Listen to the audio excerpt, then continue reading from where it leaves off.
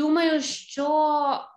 I think the primary responsibility of Ukrainian media is to hold the international attention towards the events in Ukraine because it has been, we can feel it slipping and we can see Western politicians, of course, being tired of the war, trying to coerce uh, Ukraine into ceding territory to